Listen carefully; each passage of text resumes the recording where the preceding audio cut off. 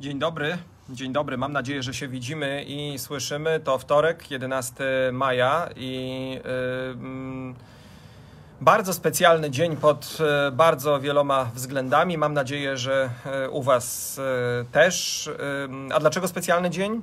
Dlatego, że mam możliwość zakomunikować Wam o wspaniałej inicjatywie naszej ekipy Polska 2050 w województwie podlaskim, która wystąpiła z wnioskiem o to, do władz e, samorządowych i kolejowych, aby ustanowić nowe przystanki na trasie kolejowej Białystok-Zupki Białostockie. A dlaczego to takie ważne i dlaczego tak istotne? Dlatego, że to całe moje dzieciństwo.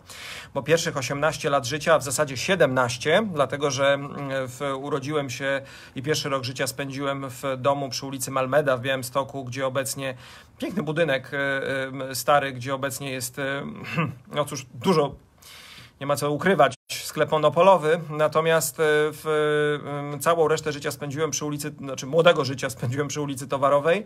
E, dokładnie nasz blok, e, blok moich rodziców stał przy, przy linii kolejowej Białystok-Zupki Białostockie.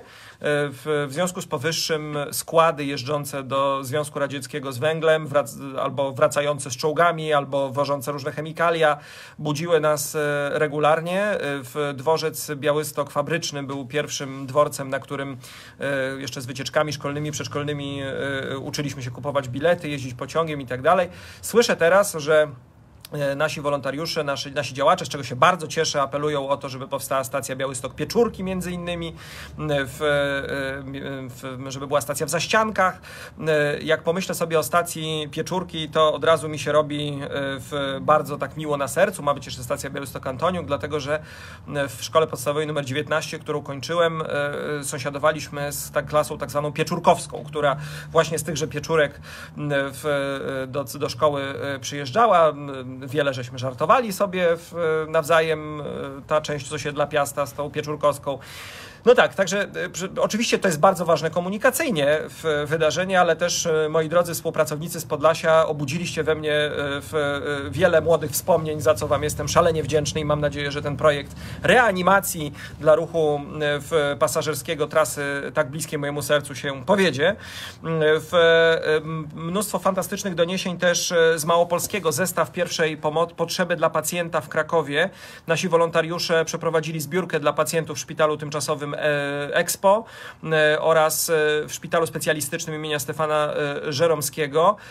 Zebrali ponad tysiąc sztuk różnych przedmiotów potrzebnych w czasie leczenia szpitalnego i higienicznych, i wody, butelek, wszystkiego, co, co, co, co było potrzebne. Bardzo się z tego cieszę i bardzo Wam dziękuję za tę robotę. W Pomorskim ponad pół tysiąca książek zebranych dla podopiecznych szpitala w Starogardzie, wydanych po 2010 roku. Też super akcja, która, e, która bardzo fajnie poniosła się e, e, w mediach społecznościowych, też dzięki Waszemu wysiłkowi, dzięki Waszemu działaniu. Pamiętajcie, że to wszystko, co robimy w ruchu Polska 2050 jest możliwe, te wszystkie wspaniałe rzeczy, które się dzieją codziennie i których czasami nawet nie mamy siły i możliwości zakomunikować, one się dzieją dlatego, że jesteście w to zaangażowani. Każde udostępnienie, udostępnienie choćby tego live'a teraz się liczy.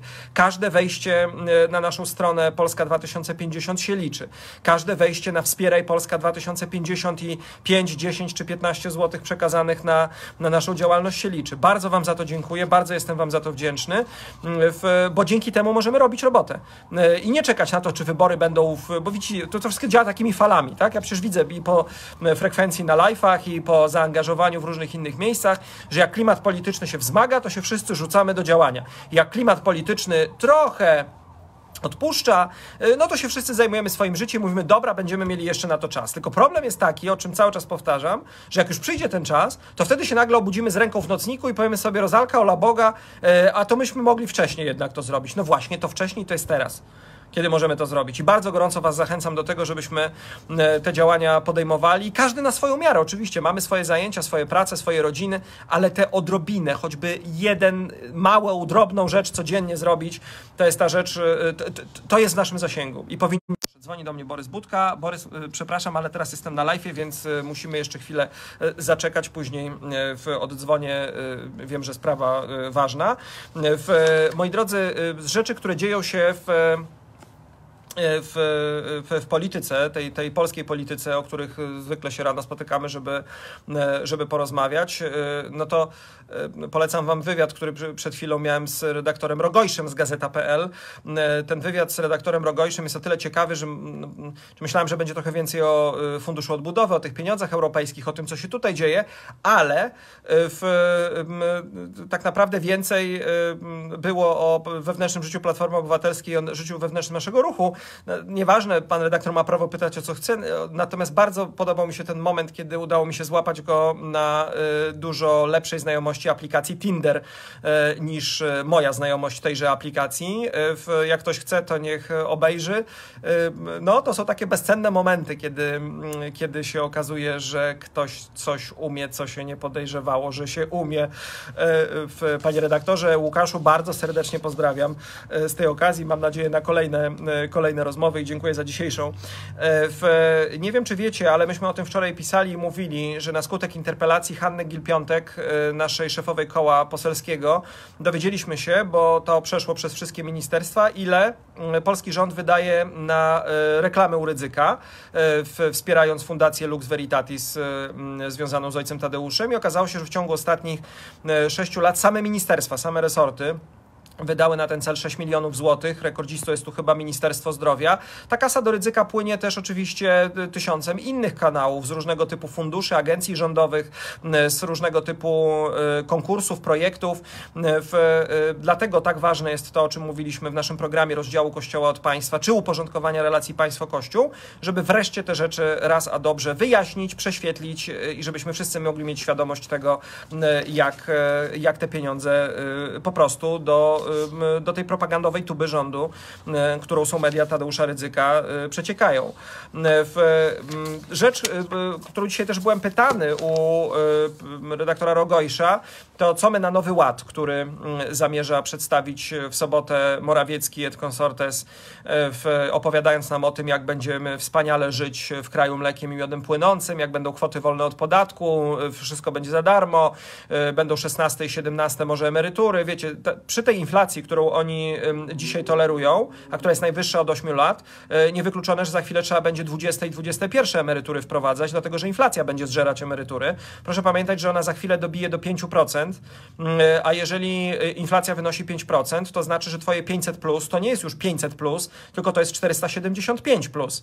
A jeżeli się utrzyma to jeszcze przez jakiś czas, to za chwilę to będzie 450 plus, bo inflacja po prostu zżera pieniądze w, w, bez żadnej litości. Proszę więc o tym pamiętać, że te wszystkie sumy, które będą Wam przedstawiane i rzucane przez oczy, trzeba w oczywisty sposób dzielić. A poza tym, czy naprawdę jesteście gotowi wierzyć ludziom, którzy kłamią na potęgę e, w każdej sprawie, e, która dotyczy wizji przyszłości, strategii e, rozwoju Polski? Zachęcam do wejścia mm, na stronę strategia2050.pl i przeczytania sobie analizy E, którą wykonali nasi eksperci. E, to jest analiza, e, ja to sobie wydrukowałem, strategii na rzecz odpowiedzialnego rozwoju po pięciu latach, skala porażki w konkretnych liczbach. Nasi eksperci przygotowali bardzo konkretne rozliczenie wszystkich obietnic Morawieckiego, które wrzucał w czasie tego swojego expose z PowerPointem, w którym mówił o strategii odpowiedzialnego rozwoju na najbliższych pięć lat w Polsce.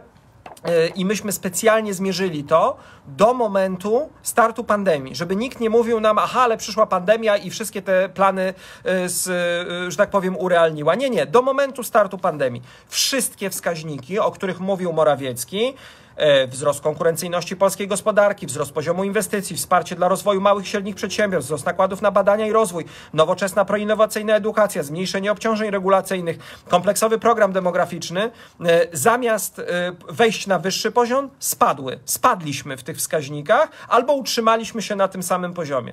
Niektóre z tych wskaźników są naprawdę porażające, jak na przykład wskaźnik demograficzny w ciągu tych pięciu lat, ale na przykład też wskaźnik w takiej umiejętności radzenia sobie przez naszych e, e, absolwentów, ludzi w wieku 15-24 lata. E, to jest taki indeks edukacja dla przyszłości, ocenia systemy edukacji w 50 krajach pod kątem zdolności do przygotowania studentów do pracy i życia w szybko zmieniającym się otoczeniu. Polska zajęła w 18 roku, czyli po trzech latach rządów PiSu, 27 miejsce w tym rankingu za Ganą i Rosją.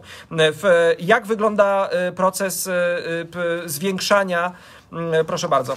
Zapowiadano zwiększanie liczby aktywnych średnich i dużych przedsiębiorstw do poziomu 22 tysięcy w roku 2000, podczas na koniec roku 2019 było ich 18,5 tysiąca, a w 15 było 19 tysięcy, czyli ta liczba spadła. Z obciążeniami regulacyjnymi ta sama historia. W, co roku wchodzi w Polsce 21 do 23 tysięcy stron maszynopisu nowych aktów prawnych. Jakby chcieć to czytać w longiem, to trzeba by było 3 godziny w, poświęcać dziennie na tę lekturę codziennie.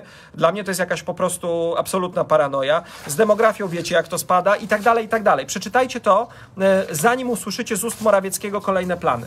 Przeczytajcie to i zobaczcie, jak można wierzyć ludziom, którzy nie są w stanie dowieść żadnej obietnicy, zrealizować żadnej obietnicy, a później porozmawiamy o ich wspaniałych pomysłach dotyczących tego, jak jak zrobić, podnieść kwotę wolną podatku, ale my też przecież o tym mówimy. Ja od kampanii prezydenckiej o tym mówię. Jak poukładać relacje w, w, w ochronie zdrowia, przecież my też o tym mówimy. Przedstawiliśmy właśnie program. Zobaczcie, jak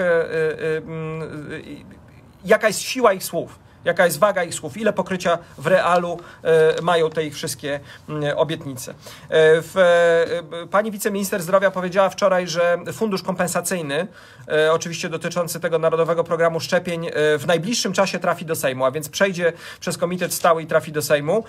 Program szczepień zdaje się za chwilę będzie się kończył, to znaczy już w tej chwili uruchomiono wolną rejestrację dla wszystkich powyżej 18 roku życia, a oni jeszcze nie zrobili funduszu kompensacyjnego. Znaczy w tym systemie zarejestrowanych jest 40% Polaków, którzy albo się zaszczepili, mm, albo już mają termin y, wyznaczony szczepionki, a oni wciąż nie postawili funduszu kompensacyjnego dla tych, którzy y, boją się y, w niepożądanych odczynów poszczepiennych. Ile to jeszcze zajmie? To znaczy, jak zaszczepimy 80% populacji, to wtedy oni postawią fundusz kompensacyjny? Widzicie, i, i, i my mamy wierzyć w te obietnice, które oni będą składać? W te baju-baj, które będziemy z ich usłyszeć w najbliższą sobotę litości. W, to dobrze, że w, szczepimy coraz więcej, chociaż pytanie, e, czy tak szybkie uwalnianie tych terminów szczepień, bo na przykład wczoraj ogłoszono, że ozdrowieńcy będą się mogli szczepić nie po 90 dniach od ostatniego pozytywnego testu, tylko po 30 dniach, a więc ten termin niezwykle się skraca. Czy to oznacza, że tych chętnych do zaszczepienia jest coraz mniej? Bo to może to oznaczać, że jest coraz więcej miejsc wolnych w systemie i te miejsca są po prostu udostępniane, są przydzielane. E, tego oczywiście się pewnie nie dowiemy. Mówiłem wczoraj o szczepieniach osób poniżej 18 roku życia. Dobrze, że rząd rozważa szczepienia szczepienie od 16 roku życia.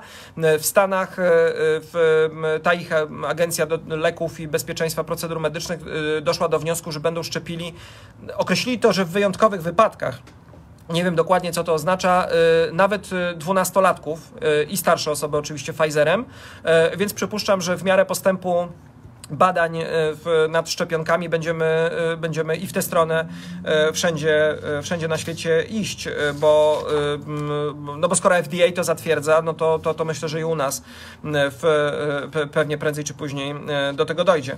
W, co tu jeszcze z takich rzeczy ważnych? O, jest sukces. W prezydentowi Dudzie udało się przez chwilę z Bidenem porozmawiać. To jednak jest jakieś osiągnięcie. W, odbył się szczyt wirtualny bukaresztańskiej dziewiątki razem z prezydentem e, e, Bidenem. Na razie wygląda na to, że te plany jeszcze robione za Trumpa obecności polskiej, obecności amerykańskich wojsk w Europie zostaną zachowane. Oczywiście to nie wynika ze sprawności polskiej dyplomacji albo z talentów dyplomatycznych prezydenta Dudy, tylko z sytuacji na Ukrainie i z tego zagrożenia, które tam jest. Ameryka chce być tutaj obecna. Wie, że to jest strategiczna sprawa, tym bardziej, o czym wczoraj też media pisały bardzo wyraźnie, w sytuacji, w której Rosja się wcale nie szczypie. Mm, w, ostatnio grupa rosyjskich hakerów e, określona jako Darkside e, zhakowała im e, jeden z największych systemów rurociągów w Stanach Zjednoczonych. No tutaj nie, nie ma, znaczy nie ma co się spodziewać jakichś wielkich konwencjonalnych ataków na skalę półświata, ale co mogą zrobić sąsiadom, to może będą próbowali zrobić. Co będą mogli próbować zrobić nam zdalnie, czy, czy innym na Zachodzie, to pewnie będą próbowali zrobić, bo, bo, bo, bo taka jest mentalność tej władzy w Rosji. Tak? Ja nie mówię, że Rosjan, nie mówię, że Rosji, bo to jest zupełnie inna sytuacja, ale tej władzy, która właśnie w ten sposób e, e, potrzebuje pokazywać, e, potrzebować swoją siłę. Marszałek Senatu, znaczy wicemarszałek Senatu mnie rozbawił, pan Peng z PiSu, który mówi, że jak Grodzki i Senat będą opóźniać w te procedury, czyli procedować zgodnie z prawem, to Polacy dostaną później pieniądze. Panie marszałku Pęk, te, jeżeli Polacy dostaną później te pieniądze, to dostaną przez waszą nieudolność, dlatego że wyście wysłali KPO do Brukseli niekompletne i sami na samym początku żeście powiedzieli, że jeszcze będziecie dosyłać wykresy w tabele i opracowania i żeby wam dali miesiąc dłużej. Więc to my przez was będziemy zwlekać jeszcze miesiąc, a nawet jeszcze pewnie później wiele innych miesięcy, bo wam przypuszczam, Bruksela to KPO odrzuci i trzeba będzie pisać od nowa, a nie przez to, że Senat chce się zająć tym w takim trybie, w jakim Sejm nie mógł się zająć, bo zrobiliście z tego polityczną mieszankę do głosowania, czyli 30 dni, które ma na podjęcie e, decyzji e, w tej sprawie. W, w, Europejskim Trybunale Praw Człowieka jest pięć spraw dotyczących niezawisłości polskich sądów po reformach Ziobry, a więc możemy się spodziewać eskalacji w tej całej, tej całej sytuacji. W Dzienniku Gazecie Prawnej dzisiaj znajduję informację, że rząd tak sobie wykombinował, że nawet jak dostanie te pieniądze później, głównie przez swoją nieudolność, w, no, to jest mała część tych pieniędzy, tak, tak sobie powiedzmy, bo już wielokrotnie Wam mówiłem, że większość tych pieniędzy będzie rozdzielana czy, czy rozliczana w, i weryfikowana przelewami po między 23 a 26 rokiem. W, a i to też jest ważna informacja w tych wszystkich rozważaniach, że do końca 23 roku polski rząd, a mamy nadzieję, że wtedy już będziemy mieli nowy polski rząd, jest w stanie wprowadzać poprawki do KPO w, i, i, i, mam nadzieję, że nowy rząd z tego, z tego prawa skorzysta. Otóż Dziennik Gazeta Prawna pisze, że oni wymyślili, że będą, ponieważ wiedzą, że te pieniądze będą stać później, to będą robić promesy państwowe e, e, na te pieniądze, które będą mogły pozwalać już wcześniej robić te inwestycje. Ciekawe, co na to Komisja Europejska mm, w, i, w, i, i płatnik tych środków. W, natomiast pomysłowość tego rządu po prostu nie zna, nie zna limitów. W, chciałem Wam wspomnieć chyba jeszcze o dwóch rzeczach. Oczywiście sytuacji zagranicznej w, to jest to bez wątpienia ta sprawa, która dzieje się na Lampedusie, czyli w ciągu ostatnich dwóch dni ponad 2100 osób dopłynęło, udało się, ile utonęło w e, tym 2100 osób udało się dopłynąć do, do wybrzeży Europy, a więc e, musimy się chyba szykować na kolejną eskalację kryzysu migracyjnego. E, i tak jak mówiłem wczoraj, odpowiedzią na niego jest solidarność europejska i wspólne działanie, bo wspólnie jesteśmy w stanie poradzić sobie z każdym problemem, a jak chcemy chcemy to robić pojedynczo, to oczywiście nie będziemy w stanie tego zrobić i, i nie ma o czym mówić. No i kolejne w, z, z, z nie chcę powiedzieć zamieszanie, ale kolejny dramat w, na Bliskim Wschodzie, e, czyli rakiety Hamasu e, e, wystrzelone w stronę Jerozolimy w postarciach na terenie meczetu Al-Aqsa. Ta sytuacja we wschodniej Jerozolimie, w, eskalacja przemocy tam, dobrze, że polskie MSZ też na to zareagowało. No, czasami rzeczywiście potrafi zareagować, tak jak premier Morawiecki, który, w, który wczoraj podjął starania, czy ogłosił, że poleci podjąć starania dotyczące kupna domu Marii Skłodowskiej-Curie, co oczywiście Polska e, powinna zrobić, bo to nasza pamiątka narodowa i e, moglibyśmy w e, też bardzo fajny sposób opowiadać, wreszcie nie w jakimś beznadziejne sposoby, ale o tym, co jest naszym dziedzictwem i o tym, jak wspaniałych rodaków mieliśmy takich choćby właśnie jak Maria Skłodowska-Curie. Natomiast rzecz, którą w dwie rzeczy, o których tutaj jeszcze chciałem wspomnieć, krajowe już. Aha, zmiana będzie w Ministerstwie Klimatu. Minister Kurtyka odchodzi. E, faworytką jest Anna Moskwa, e, która przyjdzie z e, Ministerstwa Gospodarki Morskiej i Żeglugi Śródlądowej. W Super Express donosi, to, znaczy minister Kurtyka to jest człowiek, który się zna na klimacie. Zobaczymy, jak będzie z, z minister Moskwą, choć oczywiście działa w takim otoczeniu politycznym, w jakim działa. W, rząd zapowiada te kolejne dodatki dla emerytów, czternastkę znaczy, też pokazując po raz kolejny e, w, w jakich, bo to nie wszyscy są czternastkę, tylko ci najmniej zarabiający emeryci, natomiast ja jeszcze raz powtórzę, za chwilę będą potrzebne szesnastki, siedemnastki osiemnastki, jeżeli e, w, rząd utrzyma taką inflację na takim poziomie, jak jest, e, jak jest w tej chwili rośnie. Ostatnia rzecz, nie, dwie ostatnie rzeczy, krótko, Polska 2050 nie zarejestrowała, to jest ta partia pana Zdorczaka, nie zarejestrowała swojej kandydatki w Rzeszowie po raz kolejny, mm, po prostu nas zlekceważyli, mówi w rozmowie rozmowie z Onetem Włodzimierz Zydorczak, prezes partii, e, w poniedziałek o godzinie 16 zapukał do drzwi Miejskiej Komisji Wyborczej, bo myślał, że zarejestruje panią Grzywę, ale nikogo nie było w Miejskiej Komisji Wyborczej. Zastaliśmy jedynie sprzątaczki. Po prostu nas zlekceważyli. E, a tymczasem Komisja Wyborcza donosi, że w, e, są określone dyżury i y, do biura Państwowej Komisji czy Miejskiej Komisji Wyborczej przychodzi się na dyżury. Także Pani Zdorczak, moja serdeczna prośba, trzeba przychodzić do biura wtedy, kiedy biuro działa i wtedy może uda się coś zrobić. Y, to są, y, to, to, to są to jest taka prostu, prosta koleżeńska rada mm, dla człowieka, który już ruch polityczny zbudował, dla człowieka, który no, w wielkich trudach i bojach próbuje ruch polityczny, po grudach to idzie, po grudach bardzo mocno mm, w y, ten ruch y, polityczny y, zbudować. Także do biura, do urzędu przychodzimy wtedy, jak są godziny urzędowania. A w przeciwnym razie może być tak, że zostaniemy tam jednak tylko sprzątaczki. To taka, ale tak po koleżeńsku. Natomiast rzecz, która naprawdę mnie rozczuliła, jeżeli chodzi o działalność w naszej Polsce polityczną i publiczną. Otóż rząd planuje scentralizować parki narodowe i powołać instytucję, która będzie się nazywała Polskie Parki Narodowe. Polskie Parki Narodowe, które będą czapą nad parkami narodowymi, wezmą Generalną Dyrekcję Polskich Parków Narodowych oraz parki narodowe jako takie.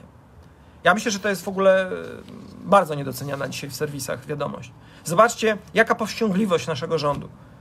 Y, w ogóle jaka wyobraźnia, że rząd wiedział, że się takim tematem trzeba zająć, że jeszcze parki narodowe są niescentralizowane odpowiednio. I że pomyślał nad tym, żeby zrobić polsko, polskie parki narodowe. Polskie parki narodowe, a zacznie mogli nazwać narodowe parki, parki narodowe żeby już nie powtarzać z tym, y, y, że, że, że wszędzie. A więc mogliśmy mieć narodowe parki narodowe, a mamy polskie parki narodowe, bo państwowe, znaczy te, te, te, Taczański Park Narodowy, Biebrzański Park Narodowy były jeszcze niedostatecznie narodowe i niedostatecznie polskie, więc teraz będą jeszcze polskie. Znaczy stopień paranoi, który y, w, w, w, tym rządzie występuje jest, jest nieziemski. My, to ma być w czwartym kwartale. My oczywiście będziemy się bardzo mocno przyglądać mm, temu, jak powstaną polskie narodowe parki narodowe polskie w, i czemu to tak naprawdę ma służyć. Czy kolejnej czapie, która będzie zatrudniała kolejnych kolesi y, i centralizowała wszystko. Natomiast, tak jak mówiłem, oni będą mieli narodowy port komunikacyjny, narodowy przekup, przekop Mierzei Wiślanej. Za chwilę będzie narodowy dyskont spożywczy. Będzie polski narodowy centralny postój taksówek i będzie jeszcze wiele innych narodowych, polskich e, instytucji, które trzeba będzie e, stworzyć, bo jeszcze e, za mało ich mamy. Stwórzcie Turnicki Park Narodowy. Macie mnóstwo rzeczy do zrobienia choćby w tej dziedzinie, żeby choć część dochodów lasów państwowych, które są promilem w budżetu parków narodowych, przeznaczyć w, nie na wasze idiotyzmy propagandowe w, i żywienie ludzi tej czy innej partii, której się lasy państwowe dostaną, tylko właśnie na ochronę przyrody w innych miejscach, jeżeli w jakichś innych ją wycinamy. Przecież to jest logiczne. A więc y, oczekujcie powstania polskich narodowych parków narodowych, w, co niebawem już nastąpi i naprawdę e, nie, nie wiem, e, co musi się stać, żeby ludzie naprawdę przejrzeli na oczy, przynajmniej część z nich i uwierzyli, czy nabyli przekonania, że to naprawdę trzeba skończyć. Że naprawdę trzeba iść i w, zabrać władzę ludziom, którzy, e, których pomysły są w, w takiej sytuacji, zwłaszcza w jakiej dzisiaj się znajdujemy, właśnie tego rodzaju. Koty narodowe i psy narodowe, oczywiście, że tak, a jak? E, to, to co pani chciała, żeby narodowe nie były? Oczywiście, że muszą być narodowe. Wszystko musi być narodowe. Telewizja musi być narodowa, media już mamy narodowe, telefony będą narodowe, pralnie będą narodowe. Wszystko musi być narodowe. Mm, w przeciwnym razie mogłoby być, że przyszliby Niemcy albo na przykład jeszcze jakaś inna Bruksela i by nam to zabrała, a to musi być narodowe. I jak to napiszemy, że to jest narodowe, to każdy będzie wiedział, to wtedy Bruksela se pójdzie i Niemcy i wszyscy. I wtedy zostaniemy sami z Jarosławem Kaczyńskim, z którym będziemy siedzieć, czytać podręczniki historii, oczywiście opisujące to, jak ochrzcił Polskę, wygrał bitwę pod Grunwaldem, y, w, pokonał zaborców i jeszcze wiele innych rzeczy wykonał i będziemy się dziwić, że nikt z nami nie rozmawia. Taką przyszłość gotuje PiS naszym dzieciom z ministrem Czartkiem i z innymi wyznawcami tego, tego systemu. E, w Wszystkiego dobrego Wam życzę. E, e, widzę, że macie bardzo wiele komentarzy dotyczących tego, że to wszystko musi być narodowe i bardzo wiele też bardzo cennych pomysłów ale jak teraz zostaną poluzowane już te obostrzenia, to, w, y, to, to, to, mamy taki pomysł na wyjazdy, y, że po prostu łeb urywa. Ja już się nie mogę doczekać i mam nadzieję, że od przyszłego tygodnia zaczniemy go grać, po to, żebyśmy się mogli spotykać wszędzie tam, gdzie będziecie się chcieli spotkać, porozmawiać, pobyć, bo, bo już dość tego półtora rocznego lockdownu politycznego, czas, czas, czas wrócić do, normalnej, do normalnego funkcjonowania. Oczywiście zawsze z zachowaniem zasad bezpieczeństwa, no bo ta choroba wciąż z nami jest, jest śmiertelna. Będziemy uważać, ale będziemy będziemy się też spotykać, będziemy, e, będziemy wreszcie blisko siebie. Bardzo się cieszę. Wszystkiego dobrego i do zobaczenia jutro, później przerwa w czwartek, w piątek widzimy się z waszymi pytaniami, a w przyszłym tygodniu to zobaczymy, jak to e, ułożymy. To był Narodowy Live, e, Polski Narodowy Live Szymona Hołowni i ruchu Narodowego Polska 2050, polskiego i narodowego. Życzę wam polskiego, narodowego, dobrego dnia, wszystkiego dobrego i do zobaczenia.